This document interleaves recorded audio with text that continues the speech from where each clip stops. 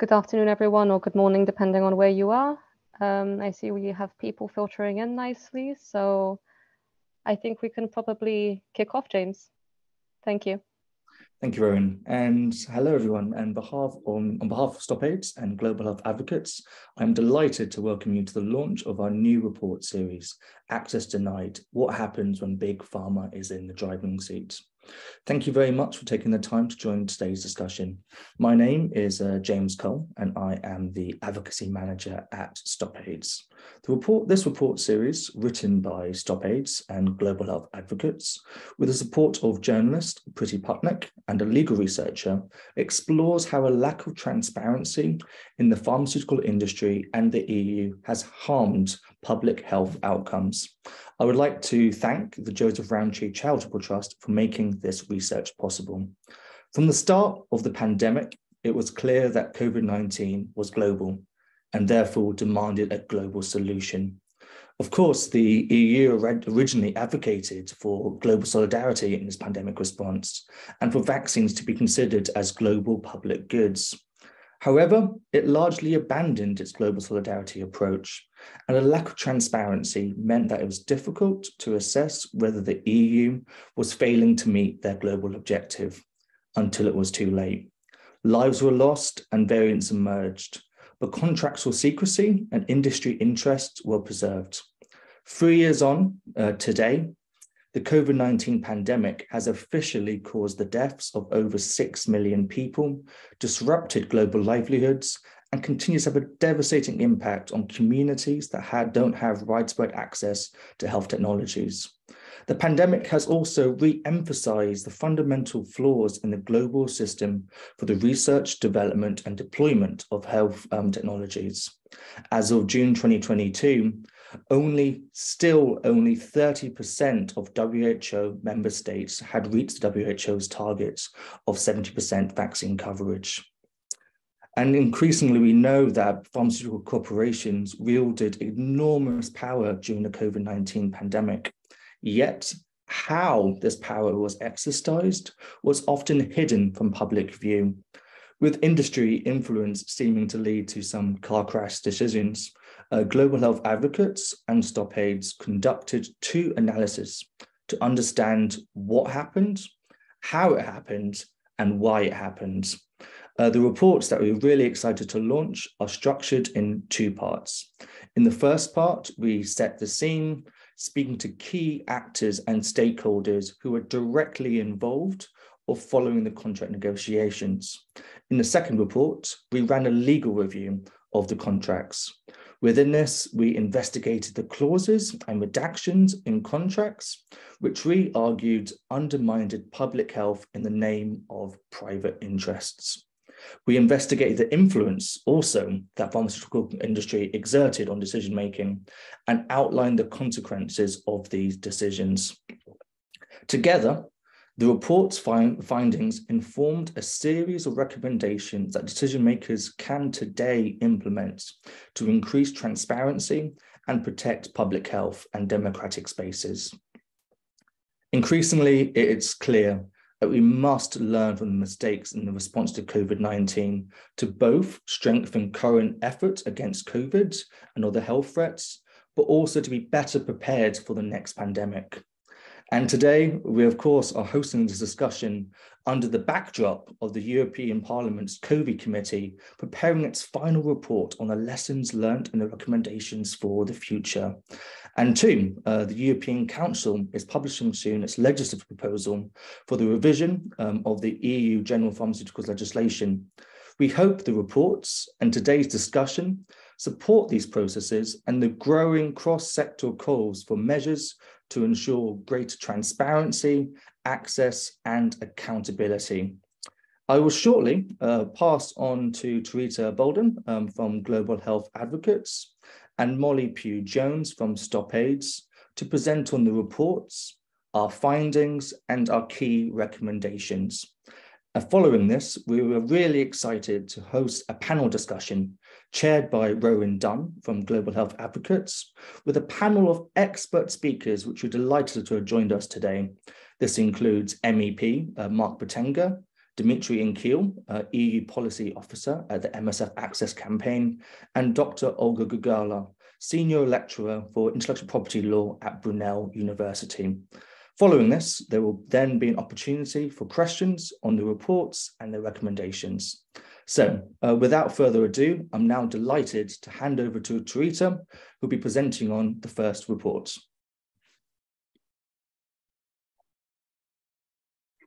Thank you, James, and good afternoon, everyone. Thank you for joining us today. My name is Tarita Baldan, and I'm the EU uh, Advocacy and Policy Officer at Global Health Advocates, for those who do not know us, uh, GHA is a French uh, nonprofit NGO advocating for policies and resources that effectively address health inequalities around the world. Today, I'll present to you uh, report one, exploring the EU decision-making around the EU contracts uh, negotiations.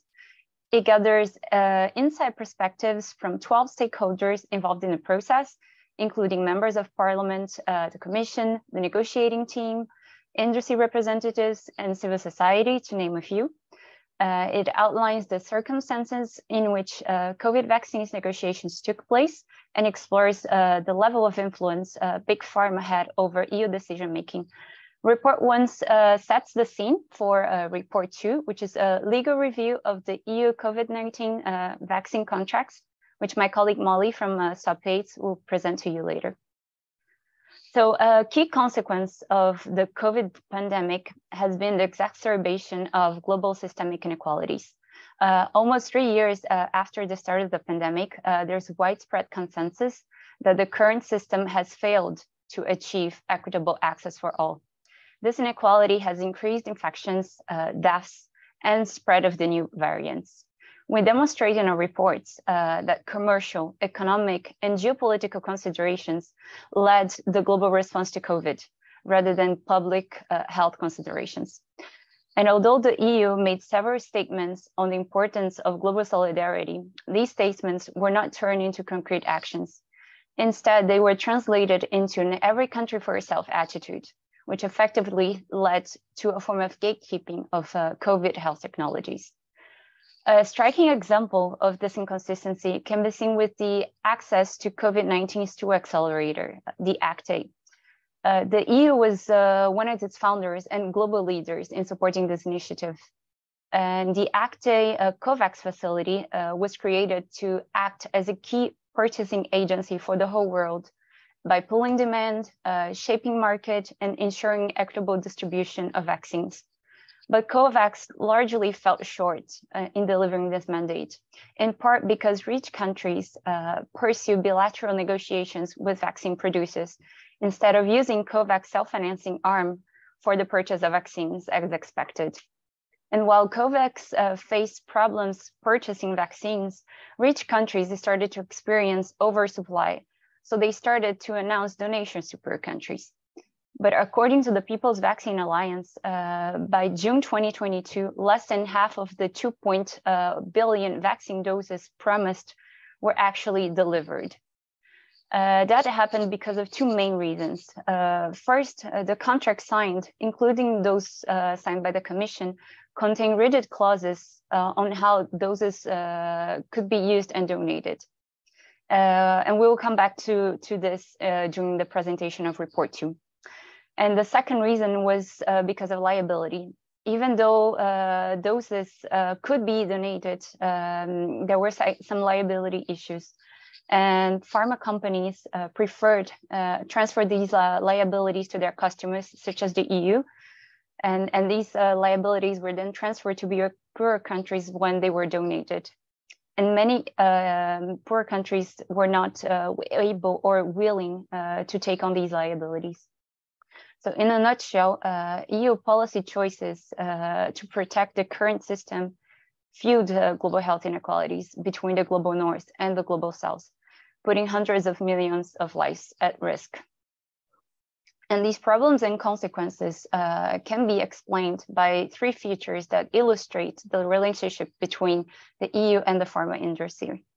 Uh, first is the imbalance of power, which uh, leads to secrecy and to what some have termed as uh, threats.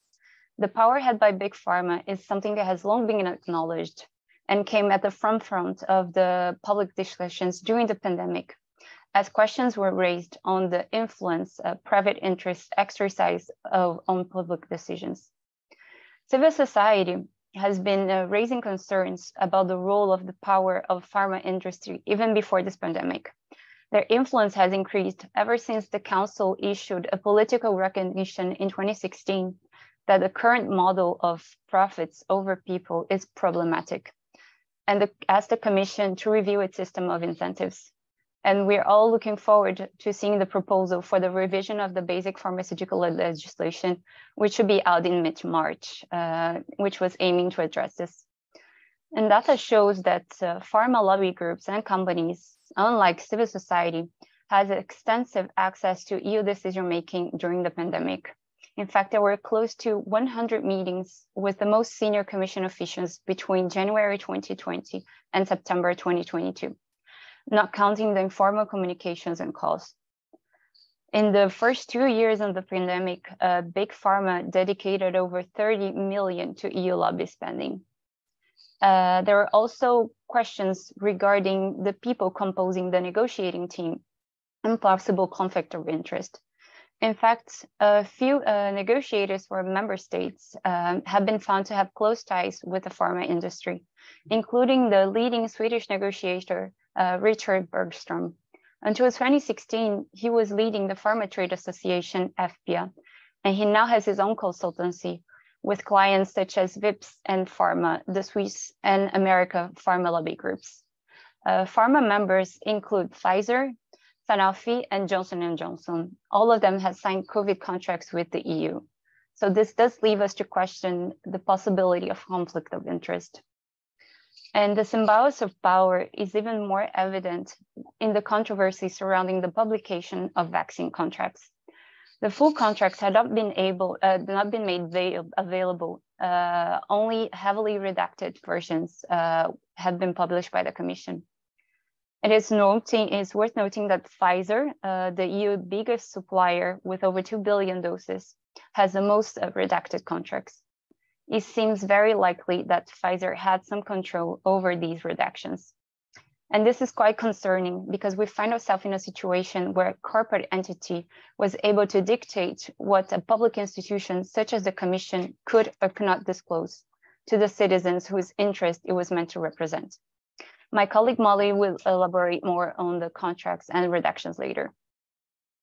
And uh, just last week, uh, the SMS gate uh, was making headlines again, with leaders of the COVID uh, committee agreeing to ask President von der Leyen to appear publicly in front of the panel to uh, explain her role in negotiating over text messages the massive contract with Pfizer. Pfizer CEO Albert Bourla, on the other hand, has been invited twice to appear in front of the committee, but has refused and neither the European Ombudsman or the European Court of Auditors uh, have been able to obtain access to these important messages. Already in 20, uh, September 2020, several Freedom of Information requests were filed by CSOs uh, and members of the parliament to get access to information regarding the negotiations, including the agreed contracts.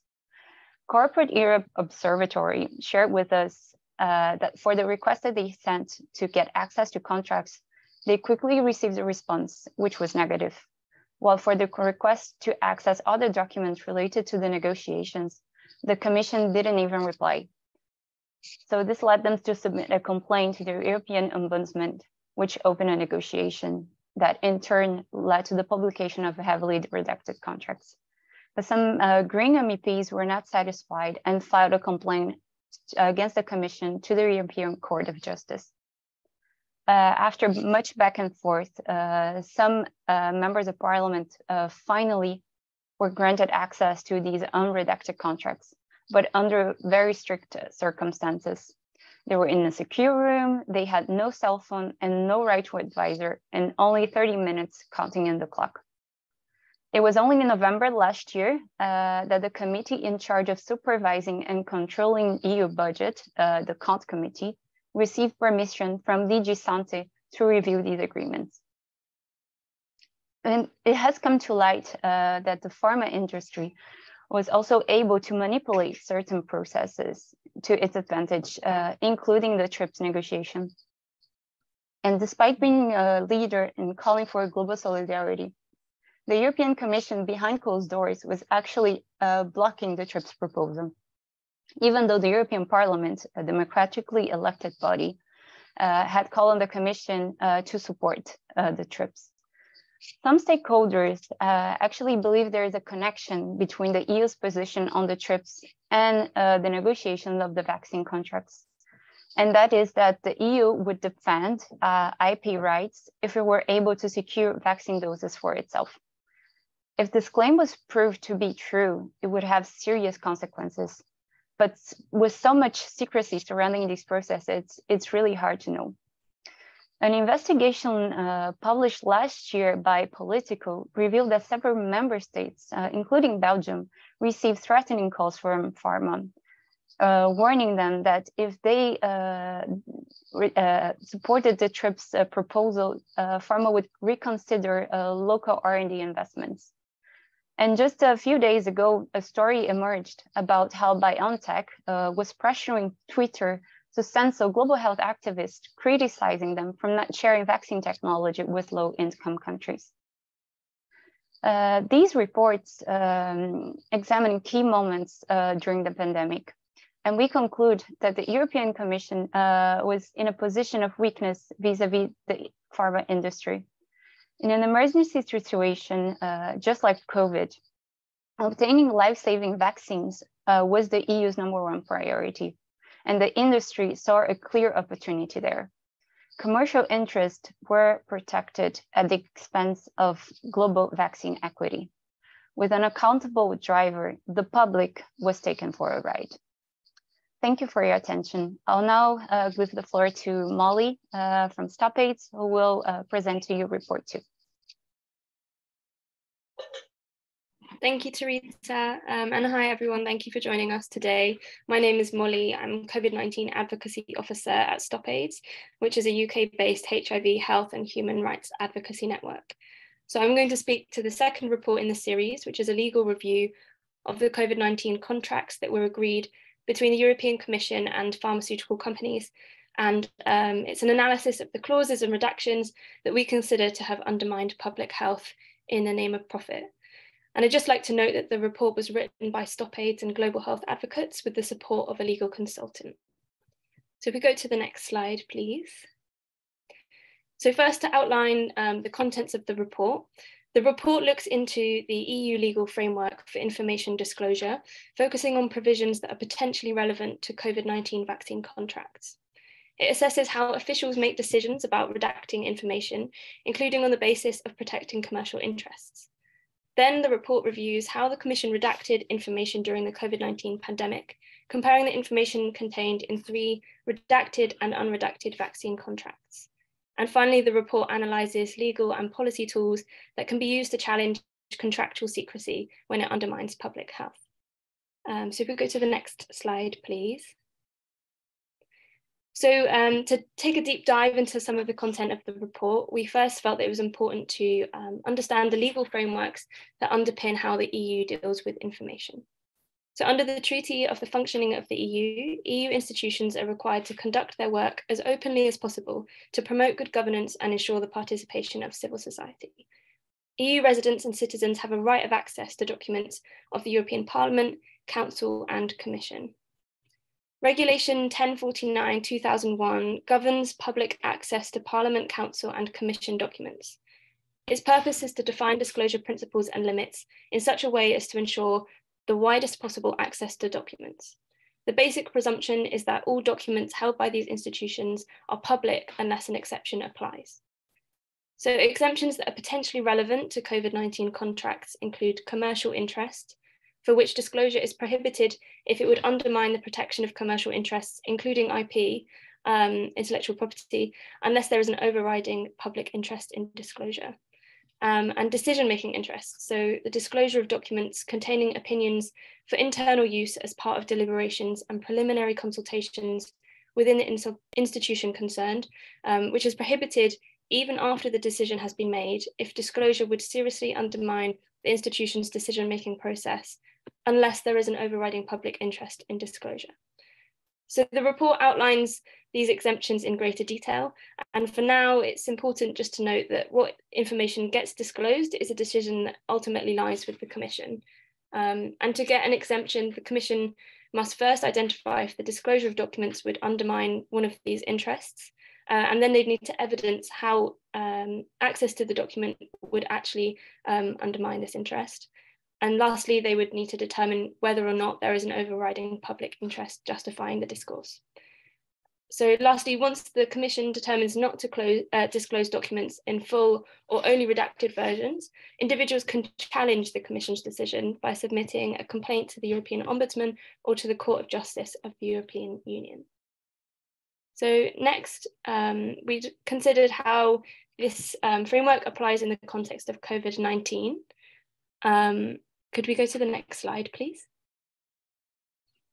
Great, thank you. Um, so during COVID-19, the Commission limited the release of COVID-19 contracts, minutes and other documents. And in general, um, when they were made available, after consultation with vaccine manufacturers, these um, documents included the redaction of key information. Um, in its response to an application requesting access to these documents, the Commission provided um, the two aforementioned justifications to limit disclosure um, of information. So that is to protect commercial interests and to protect the procurement process, including decision-making interests. Um, however, in 2021, the Italian public broadcaster RAI published unredacted uh, versions of three of the COVID-19 contracts. So this included the Commission's advanced purchase agreements with AstraZeneca, Pfizer and Moderna. The contracts provide a unique case study into the terms agreed to by the Commission during the COVID-19 crisis. Comparing the full contracts with redacted versions also helps to shine a light on the decision making of the Commission when it comes to applying exceptions and redacting agreements. Um, so we identified seven major categories of redactions, which includes information associated with deliveries, prices, IP rights, product description, facilities and know-how, dose transfer, product safety, and legal frameworks. So I'm just going to run through a couple of um, the findings that we list in the report, but this is not an exhaustive list um, and very much um, refer you back to that report for um, the full set of findings. Um, so on deliveries, we found that redactions were maintained even for historical data, including deliveries that had already occurred, which would otherwise seem to lack uh, commercial significance. Um, Additionally, some information about the choices made by the Commission itself was redacted. For example, in the Pfizer and AstraZeneca contract, the fact that the doses provided to the Commission would be split pro rata was redacted, but the same information was not redacted in the Moderna contract, and it was not clear on what basis the Commission redacted this decision. Um, information about pricing was redacted across all three of the contracts, notably um, in contrast to um, the European Commission, the United States disclosed COVID-19 vaccine prices in all of its contracts. Um, information about IP rights was inconsistently redacted by the Commission.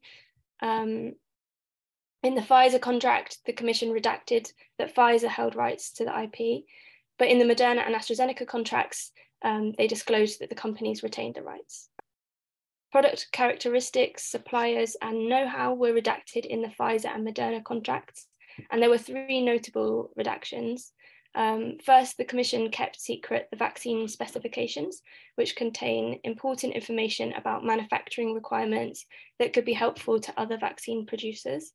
Um, second, the Commission redacted information about Moderna's obligation to produce initial doses in European sites. And third, the dose used in the mRNA vaccines was kept secret, even though this was already public knowledge. And lastly, the Commission redacted information about how vaccine doses could be transferred, donated, and or resold in all three contracts. And these redactions were striking in part because they concealed the Commission's own rights to the doses that it had purchased. Um, and here, industry was concerned about liability issues that um, Teresa mentioned earlier. For instance, if the doses purchased by the EU were donated to a third country and an individual in that third country experienced adverse effects, um, who would be liable? Um, so making these comparisons between contracts made clear that the Commission redacted a large volume of information that was relevant to public health. And it's important to consider why it is that they made decisions around the disclosure or reductions of these different information types and what impact this had on the EU, uh, EU pandemic response and also on global health. Um, so some key reflections in the report include that the Commission kept more information secret than other jurisdictions.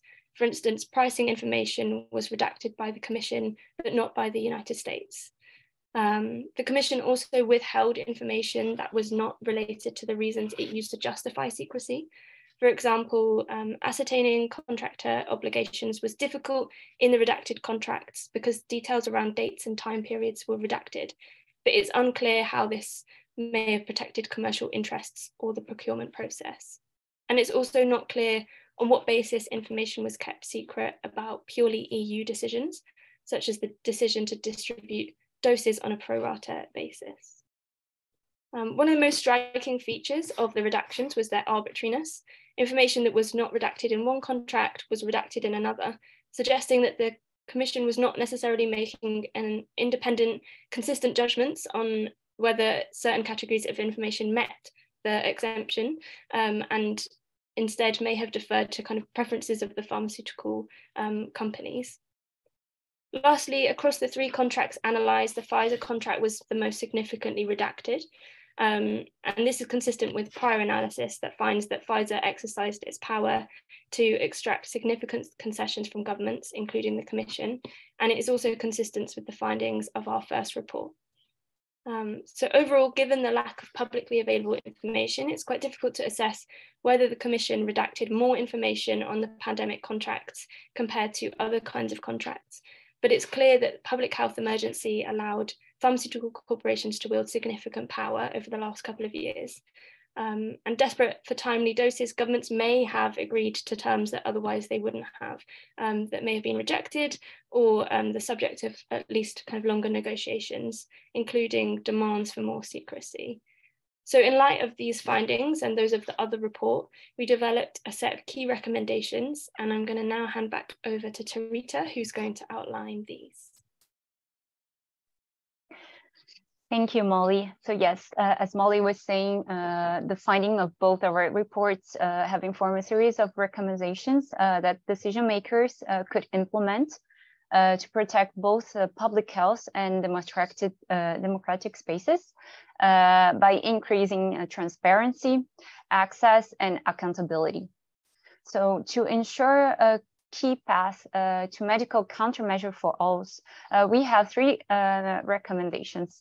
Uh, first, that the upcoming revision of the pharmaceutical legislation should create a more competitive environment, should remove unnecessary barriers to competition and address abuses of the system and unfair practices. In particular, uh, the EU should shorten uh, regulatory protection periods. Uh, second, um, when EU public funding is used uh, to develop biomedical countermeasures, it must be accompanied by access conditions to guarantee the availability, affordability, and accessibility of medical products uh, to all of those in need, uh, including in low and middle income countries. And third, uh, in the framework of the renewal of the EU Global Health Strategy, the EU and member states uh, must take concrete steps to ensure that medical countermeasures are available, accessible, and affordable to all. And in order to increase uh, transparency and avoid uh, corporate capture of EU processes, we propose the following uh, recommendations. Uh, that first, any future and uh, preliminary negotiations that are held between the Commission and pharma companies before contracts are signed should be conducted in a fully open and transparency manner, using established processes rather than informal channels.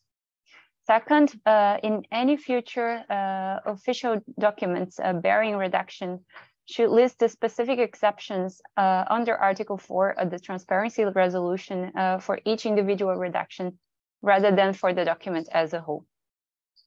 Uh, third, the upcoming revision of the pharmaceutical legislation should include specific measures to guarantee transparency of R&D costs in its revised incentive framework in line with the WTO recommendation.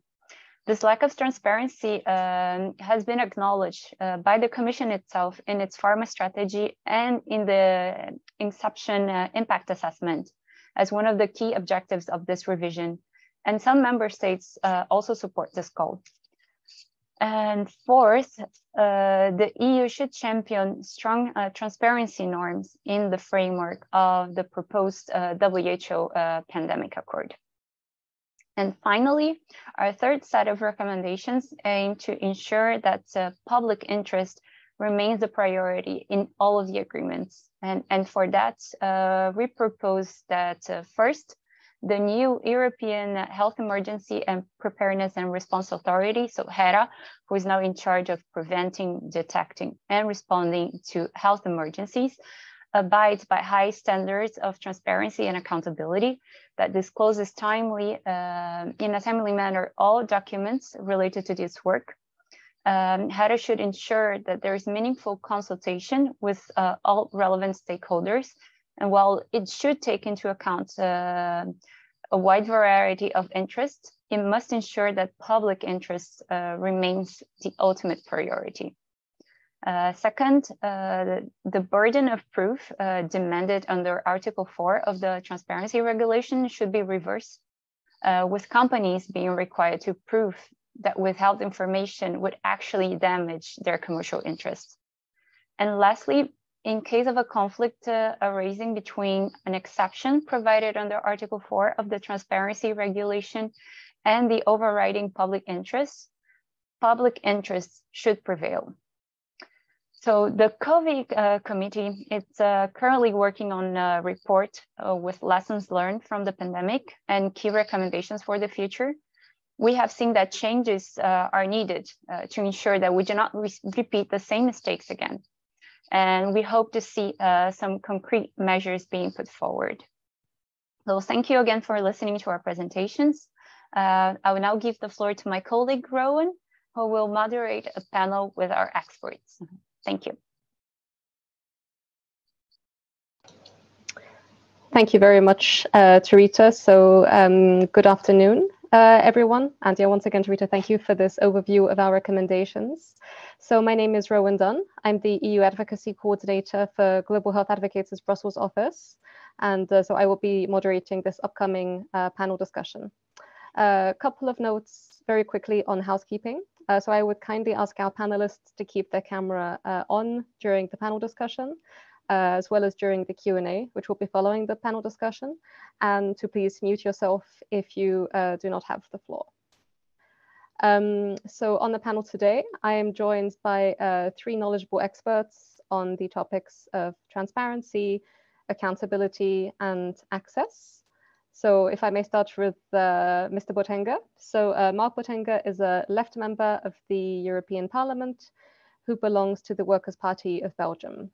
And uh, before his term as MEP, he was active in global health uh, activism. And uh, during the COVID-19 pandemic, he was a, a, very strong advocate and campaigner in favor of transparency in regard to vaccine procurements, uh, the TRIPS waiver, uh, the lifting of uh, IP rights on health technologies in order to make vaccines a global public good, uh, notably via the No Profit on the Pandemic campaign. Our second panelist is Dr. Olga Gurgula, who is a senior lecturer in IP law at Brunel University in London. Uh, she has served as an expert consultant for international organizations, as well as governments and non-governmental organizations, uh, mainly in the fields of IP and access to medicines.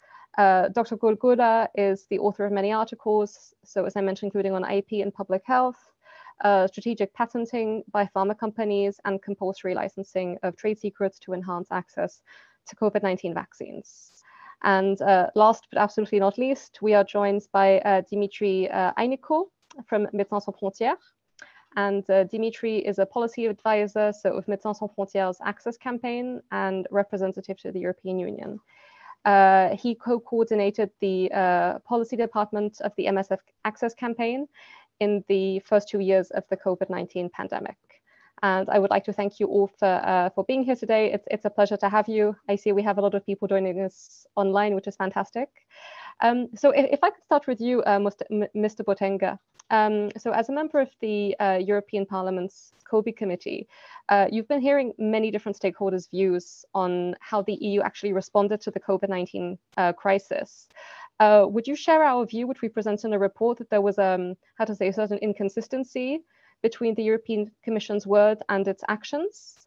And uh, a follow-up to that question, what role would you think the pharma industry played in shaping EU decision-making during the pandemic? Um, thank you, thank you for for the invitation and for the event and for the the two the two studies. I think they're all uh, very very um, to the point and timely. Uh, so congratulations. I think um, the report um, and this is the first point which is important, contradicts actually the official narrative currently used by the European Commission, which is a narrative saying that the vaccine campaign and the vaccine strategy was by and large a success. Um, I think it's important for us to contradict that, to say, uh, listen, the, the, the, from a global health perspective, you know, the EU vaccine strategy was actually not a success in that it impeded rapid vaccine access for a number of countries in the global south. Uh, because once you accept, and this was this was basically accepted at the very first, at the very start uh, of the negotiations, um, once you accept that intellectual property rights will stay uh, uniquely, completely, totally in the hands of uh, the companies, even when vaccines uh, are based, have been developed with a lot of technology that was funded and sometimes almost completely with public money. Uh, well, then you give the right to these companies to decide basically how much of the vaccine will be uh, produced, where it will be produced, uh, what price it will be sold eventually, and so on. So as soon as the EU accepted this and, and basically renounced to, to refuse to, to impose anything strong in, in that matter on pharmaceutical companies, it accepted that there was going to be shortages, short, shortages, I can do this, um, and uh, many more than, than, than, strictly necessary. I mean, it was going to be inevitable in the beginning, but I mean, that we were not going to have as many vaccines as quickly as possible as, as we could have had. And, and just to make it sure, uh, to make it clear, there were alternatives. You know, the World Health Organization put up very quickly uh, a, a coronavirus COVID technology access pool, the C-TAP, with the idea of sharing technologies, intellectual property rights, in order to get into a more global collaborative cooperative uh, spirit in the development and the sharing of, the, of this the, these health technologies uh, and even at later stages you know there was the, the trips waiver debate uh, you referred to it uh, which was very important and where as well the european commission specifically played a very negative role while the European Parliament, in the end, thanks to the campaign uh, and, and the pressure from different organizations, from people's movement, and so on, this, this was really important. We succeeded actually in uh, in tilting the balance inside parliament, but the commission stayed and continued to basically oppose uh, the TRIPS waiver. Now, the question is, why did the EU act this way? And this is where I fully share your message that unfortunately, uh, EU pharmaceutical policy throughout um, the years uh, has often been uh, very strongly influenced and sometimes driven by uh, big pharma interests and by profit interests. Now, this is generally expressed uh, in health documents by saying that we are worried about the competitiveness of the companies. Uh, and that becomes a euphemism to say that we are worried about the profits of the companies. Uh, and there's a connection here between what happened uh, during the COVID uh, pandemic and what happened before. Because even before, the EU saw these big pharma companies as partners. And they were even allowed uh, to decide sometimes on the allocation of public funds, uh, like in the case of the Innovative Medicines Initiative. But there's a fundamental difference of interest between, on the one hand, a private company attempting to make profits, uh, and public authorities attempting to get the best drugs out there at the, uh, the most accessible way uh, for all. Uh, so unless we acknowledge this contradiction in interests very often, and that we are, you know, we perhaps you need to negotiate, but it's a negotiation with another counterpart that has different interests. Unless we accept that, unless we acknowledge that, we'll be making the same mistakes over and over again. So I'll, I'll, I'll leave it there for my first answer. Thank you very much, Mr. Botenga. Um, before turning to the next question, um, I just wanted to say that you are, of course, uh, anyone in the audience is, of course, welcome to, to send in questions. Uh, we will be taking some shortly uh, after the panel discussion. I see we're, we are receiving some uh, already. Uh, but yeah, once again, many thanks for your, uh, for your insight, Mr. Botenga. next, we'll be hearing from Mr. Dimitri Eynikel from Médecins Sans Frontières. um, so yeah, if I can turn to you now. Um, so uh, we argue in our report that it was mainly, you know, commercial, economic, and also geopolitical considerations that sh helped uh, shape the global response to the COVID-19 pandemic, rather than actual global public health considerations, and that big pharma actually played quite a leading role in shaping uh, EU decision making. So I was wondering, how would you describe the, the power dynamics which played out between uh, the pharmaceutical industry and the European Commission, EU member states, and the European Parliament? And how, in your opinion, did these dynamics uh, impact the global response to COVID 19? Yeah, also from my side, first of all, thank you for the invitation and for the excellent reports. It's, it's good research and it's good to document uh, what has happened so we can draw the right lessons learned, which is the end what we all want to achieve.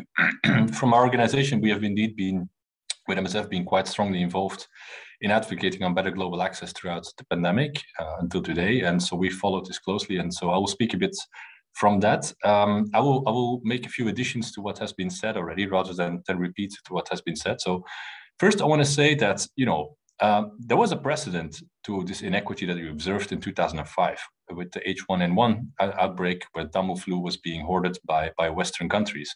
We could have known, and actually, you know, the, the, the important stakeholders, the Commission, the Council, etc., they all could have known or, or knew that this could happen.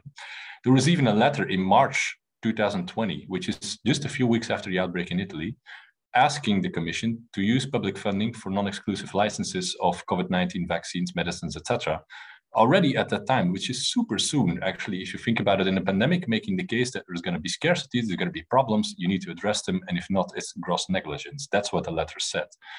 Now, after that, in May, indeed, we had these, you know, very generous comments about global public good. The vaccines are going to be uh, global public good. But then I think something interesting happened that we sometimes overlook.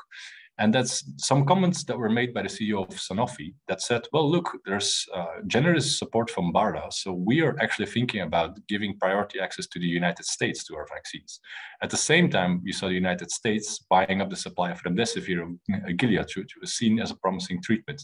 And this is where I think the factor of fear, the fear of missing out, in a situation of scarcity was starting to drive the discussions and the negotiations and the power balance between the industry and, and the commission and the member states.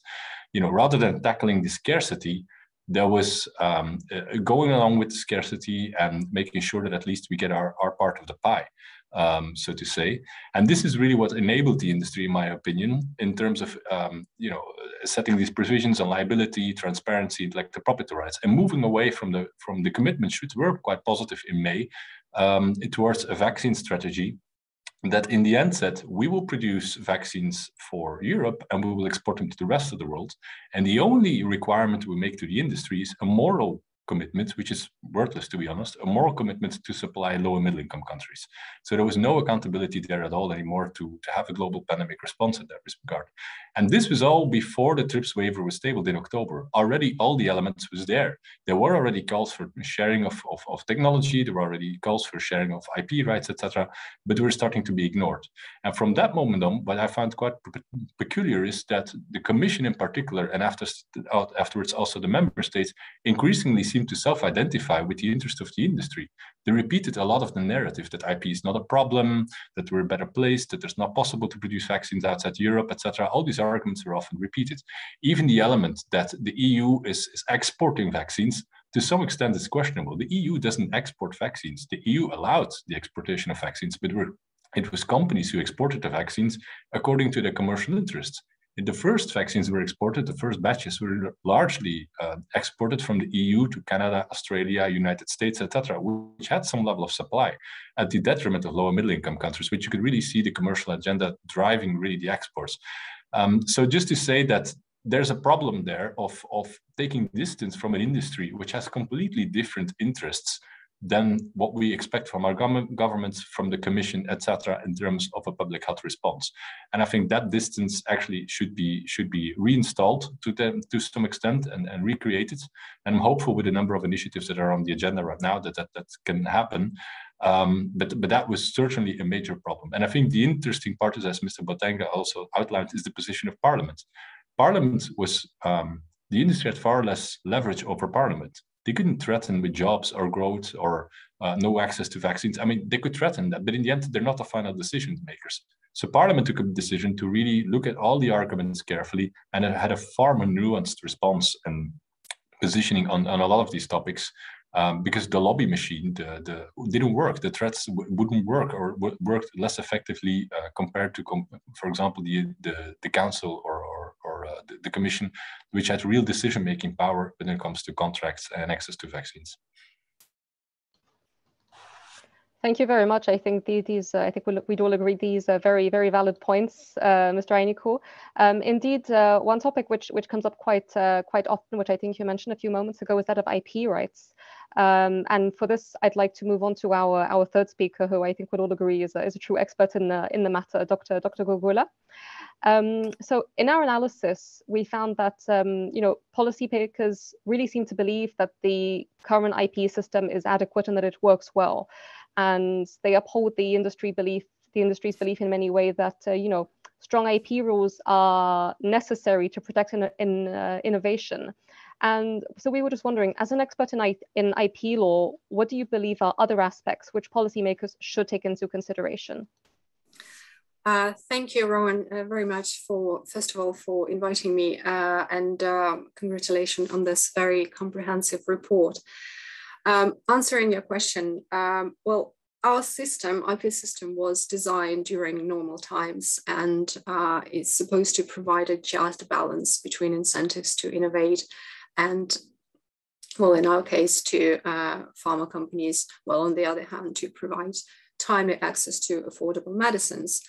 And although as we know, this system has been increasingly criticized for being inadequate to provide access to life-saving medicines even before the pandemic. So now we have to rely on this ineffective system during such an incredible emergency as the current pandemic. And we can now see this pandemic has revealed this, that the system is not working. It is severely imbalanced, uh, prioritizing the protection of pharma companies' private interest and revealing our enormous dependence on private companies. And um, one of the key reasons for this is very strong IP protection embedded in the system. And we can see the significant lobby of pharmaceutical companies that even in an uh, emergency uh, at international level, when millions of people were dying every day, we were not able to break the strong IP protection and implement the IP waiver, which could have saved uh, millions of lives. And the first uh, report uh, discusses this uh, problem. Uh, uh, you discuss patents that provide protection to vaccines. I would also add a significant reliance of pharma companies on trade secrets because vaccines are complex technologies. They are protected not only by patents, but also by trade secrets. And um, while we have some mechanism in IP law that could potentially help with accessing uh, patent protected products uh, without the patent owner's uh, permission in the form of uh, compulsory licensing, there is no such mechanism uh, in IP law that uh, would help with uh, trade secrets. So even if uh, there is a potential uh, political will on the part of governments to implement involuntary technology transfer, we wouldn't be able to do that because the, the, the legislation is, is inadequate. So the current system of medical innovation and access is completely inadequate for such emergencies as the current pandemic. And uh, we essentially uh, government are completely dependent um, and uh, at the mercy of international cooperation. So we must reconsider uh, the system. We need to be prepared for uh, future pandemics better. Fantastic, thank you. These are really some some very very interesting uh, insights. Um, if I can just come back to you for a moment, uh, Mr. Botenga. So in our previous session, my colleague Charita presented an overview of uh, recommendations, so developed by both uh, Global Health Advocates and, uh, and STOPAIDS. So from your point of view, which would you say, uh, which recommendations would you say uh, are the most relevant at this point and, and why? Um, thank you. I like the the most concrete ones the best because they're uh, they're they're the easiest, let's say, for us also to defend and to try to get into the the final conclusions of um, of, our, of, of the report. So that'll be a, um, a fight in any case, because as you know, not everyone in parliament uh, agrees uh, with, with these recommendations, unfortunately, or not yet. Um, so let me first pick up maybe the absolute necessity to shorten the regulatory protection periods. I think this is really important. There's a push from industry to strengthen IP. Uh, it's a continuous push be it by supplementary protection certificates, be it by extending the, the, the protection of other um, offered by other tools. So I think this is really important. We have a strong argument as well regarding the innovation model. Um, the strengthening of IP has not led to a better innovation model. Uh, if you look at the, the, the, the amount of, of new, really innovative medicines we get for public money and you compare it to, uh, let's say, the 50s, it's not like you can claim that intellectual property right has been this uh, great at, at, at, guaranteeing an innovation. Um, moreover, companies like to claim that they need these big profits they're making in order to reinvest in research and development. Uh, now, we all know that profits very often go somewhere else, be it in advertisement, be it in dividends, uh, share buybacks, and so on. So I also think that making public funding conditional on public access clauses is absolutely fundamental. You're using public money, put the conditions. Um, I'm not going to comment on transparency. I'm very much in favor. I think the current scandal ongoing in the European Parliament proves that we need as much transparency as we can get. And unfortunately, uh, I don't think HERA is currently as transparent and as accountable as it should be, uh, far from that.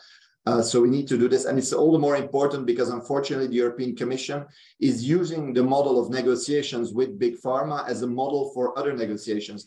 For example, the joint purchases uh, on energy now, uh, they're kind of taking the model of the vaccine purchase negotiations uh, as an example, which is obviously not the way we want to go. So that's important. And maybe if you allow me, I'll try to add one, uh, which I would have, which, which I think is important because it's been lined out also, uh, I think, by by, by during Nickel and, and the, the, the leverage these companies had uh, is also linked to the fact that they very often have uh, almost a monopoly uh, or if not a monopoly on drug uh, development or on drug production.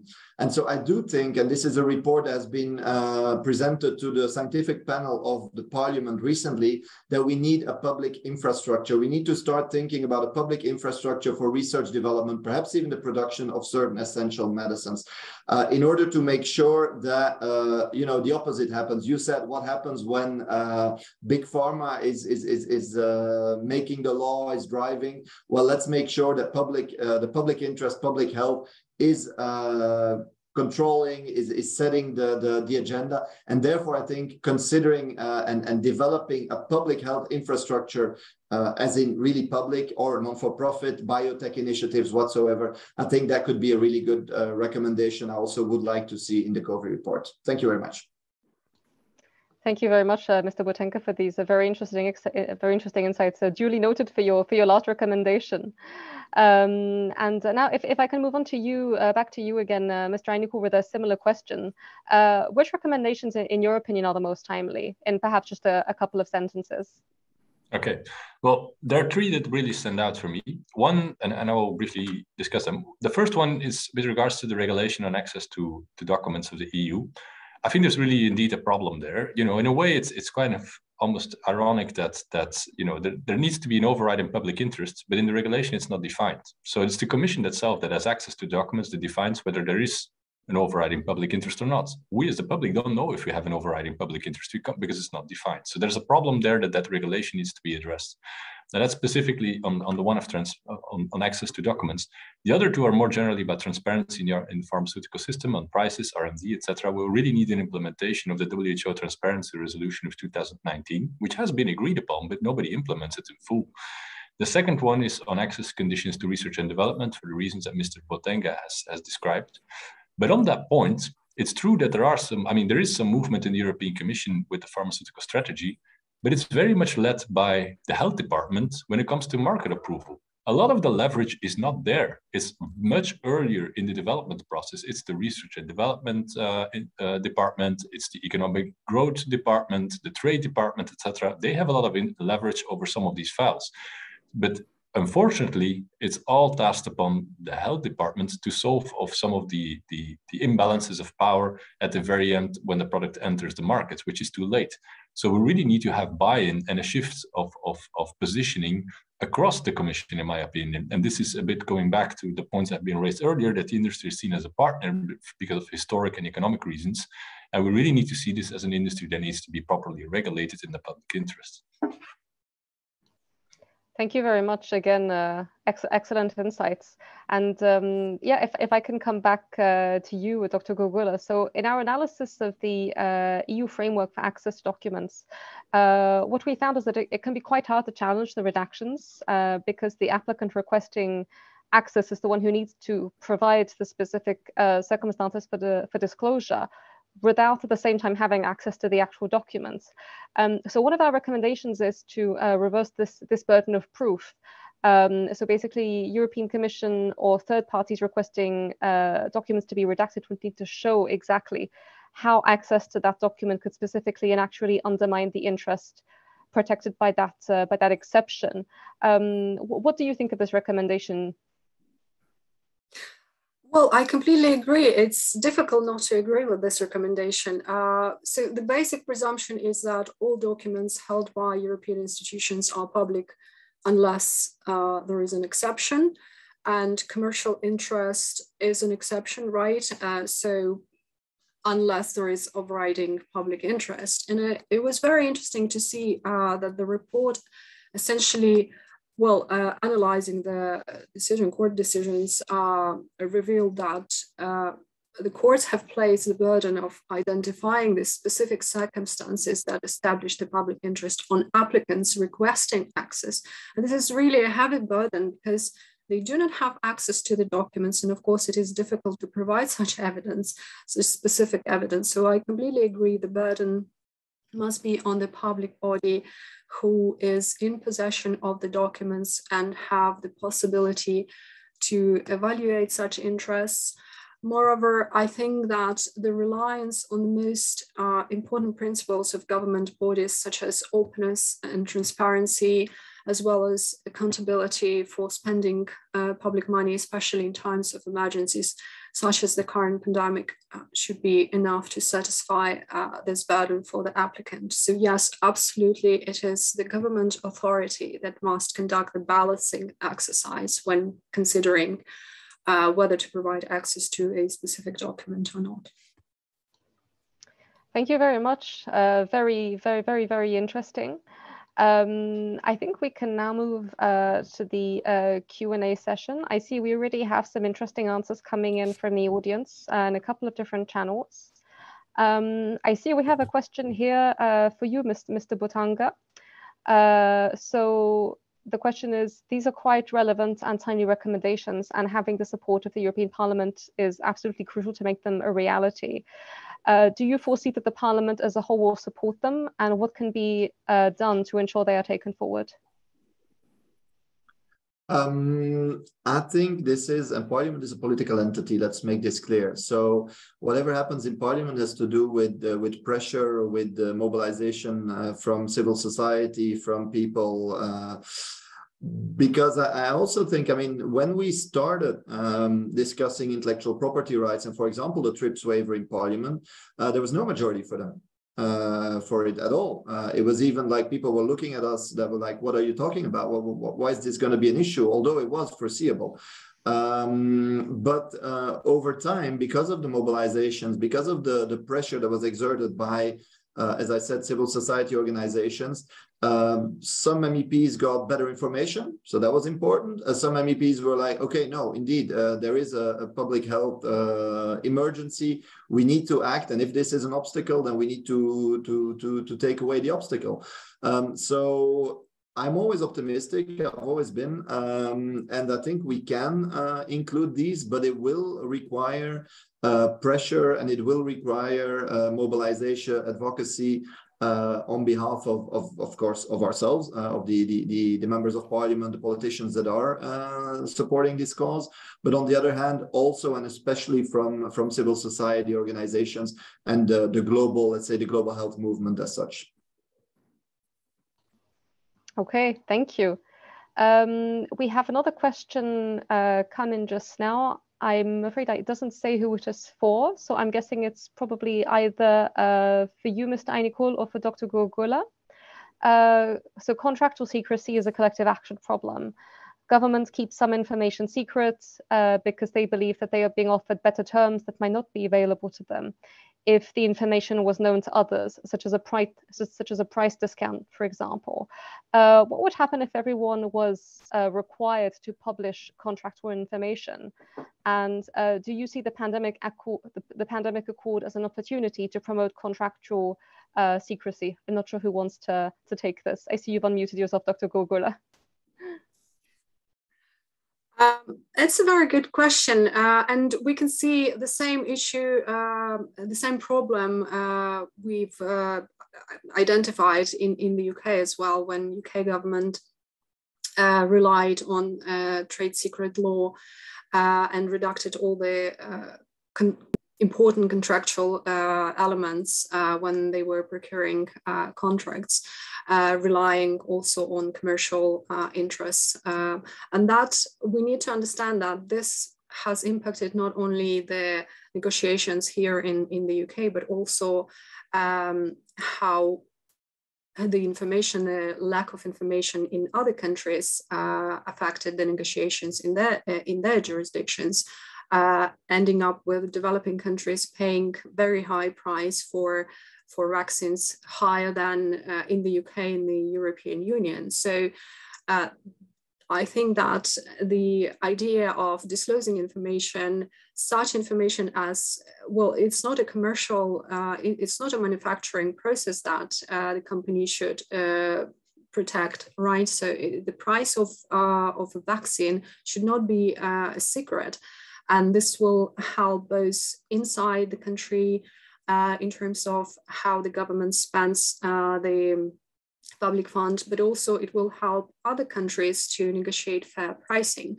And I think that uh, in, in your reports, uh, this is something that uh, has been highlighted uh, very clearly. Can I, no, can I answer this question as well?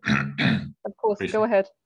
Well, the only reason that these prices are secret, as uh, Dr. Gurgula briefly mentioned as well, is because it's the interest of industry. There's there's no public interest in keeping the secrets. The the public uh, sector is not asking for this; it's the private sector. And I've done a bit of research about the prices of medicines, the real net prices of medicines in Europe, and I came across that some of the prices were highest in Portugal and Poland, and they were the least expensive in the UK and Switzerland, which doesn't make any sense if you think about GDP per capita. It should be the other way around. And this shows you exactly why there is no price transparency because it enables unfair pricing practices.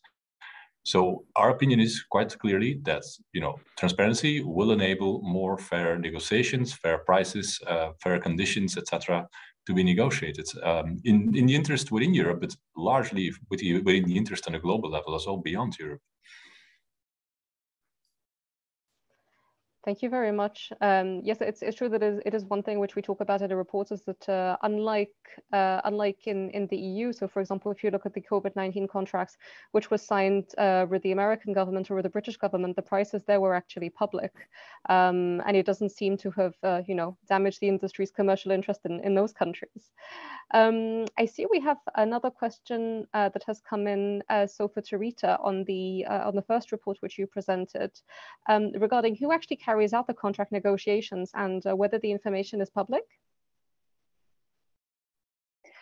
Uh, hi, Rowan. So thank you. Uh, the, the, so who carries out the negotiations? Uh, the Commission, uh, together with a joint uh, negotiating team, carries out the negotiations for the vaccines uh, with the suppliers.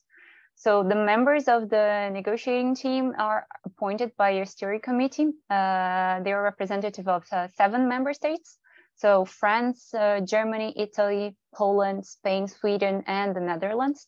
So Italy, Netherlands, and Spain, they have uh, confirmed their envoy to journalists, but the Commission has uh, declined to share the list of the negotiators officially.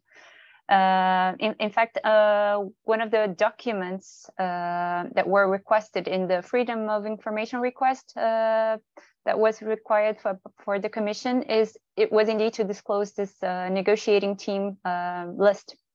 Um, and the ombudsman investigation uh, that led to the heavily redacted contracts uh, being disclosed also came together with a promise from the commission to consider making over 300 documents related to the negotiations available.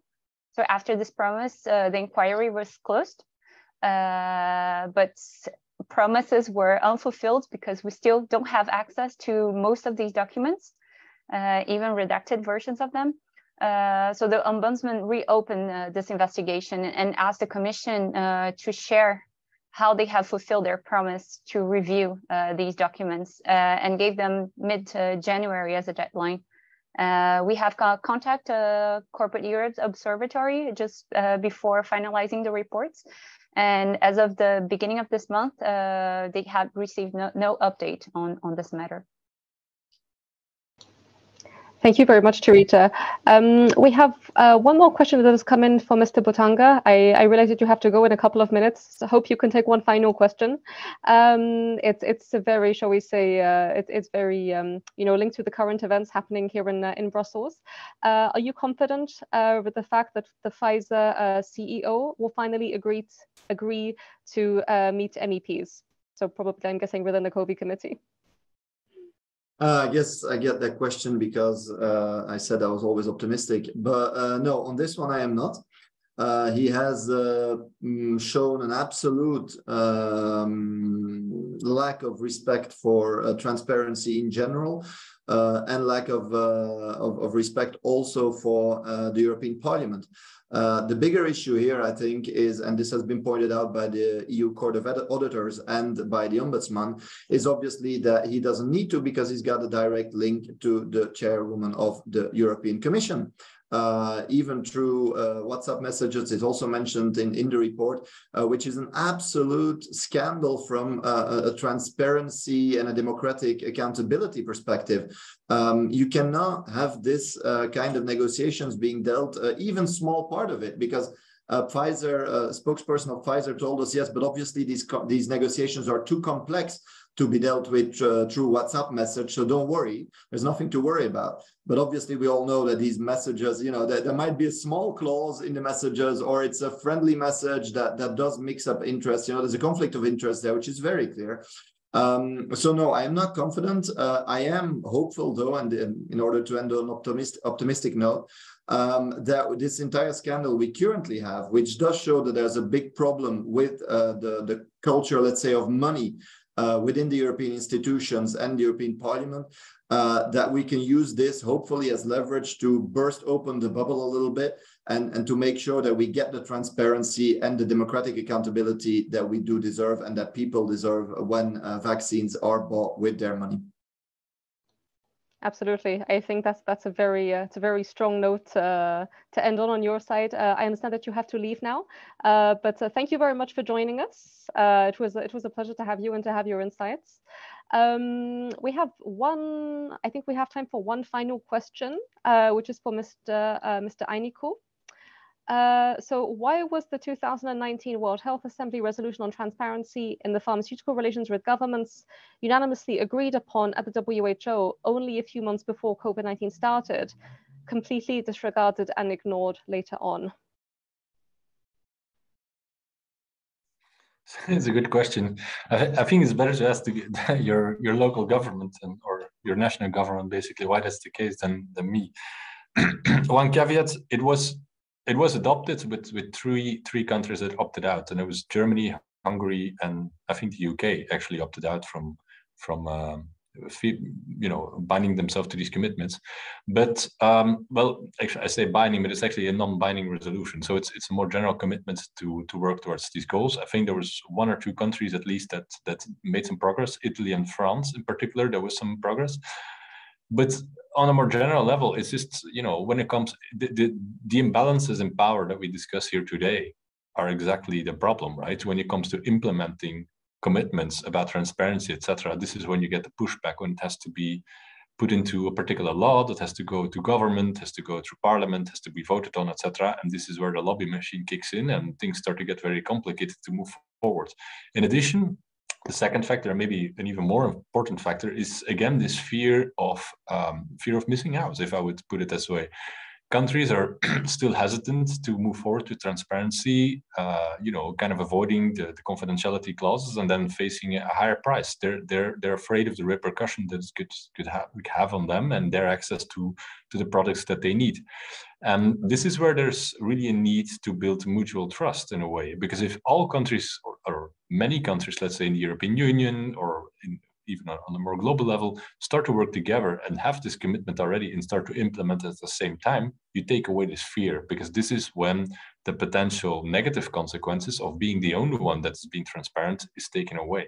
So you need to build on this trust and you really need to work on a concrete frame of implementation, in my opinion, to really move uh, move it up significantly, if, even if there are you know good steps taken in a number of countries.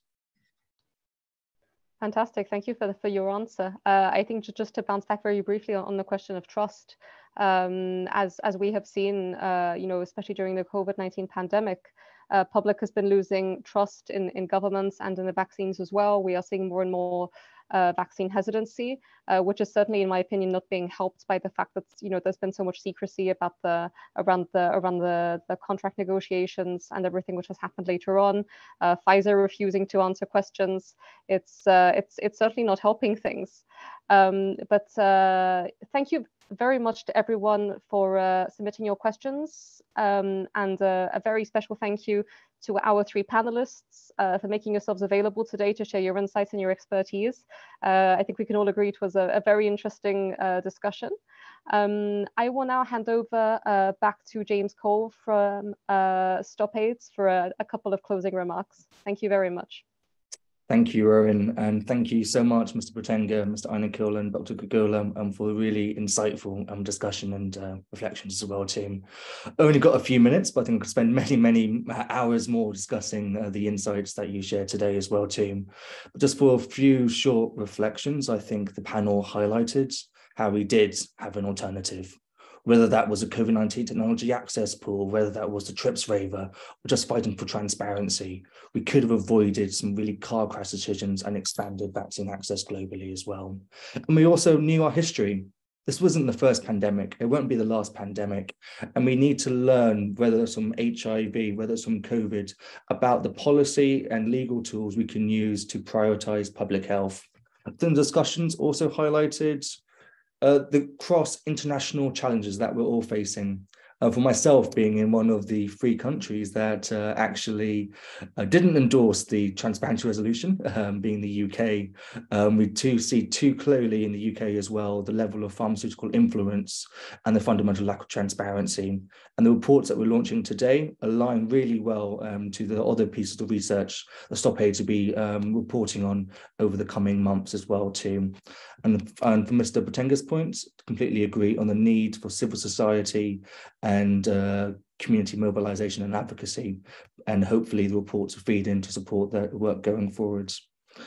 Um, so ultimately, um, the reports we're launching today have highlight how a lack of transparency and industry influence meant it was difficult to assess whether the Commission was failing to meet its objective to promote global vaccine access until it was too late.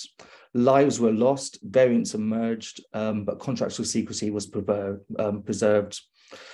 Um, and we found uh, that pharmaceutical companies steered the direction of the EU's COVID 19 response. This was despite there being huge public funding for the development of COVID 19 health technologies. The same mistakes cannot be repeated again. Ensuring access, transparency, and accountability will be fundamental for bettering the Commission's pandemic response. We hope our research and the key recommendations put forward today will support decision makers to take the necessary action to promote transparency and protect public health and democratic spaces. The reports are now available on both StopAIDS and Global Health Advocates websites um, and be uh, officially released uh, tomorrow. Uh, please do read uh, the full reports and share across your colleagues and networks. Um, and if you can turn to the next uh, slide um, that has myself and Rowan's uh, details.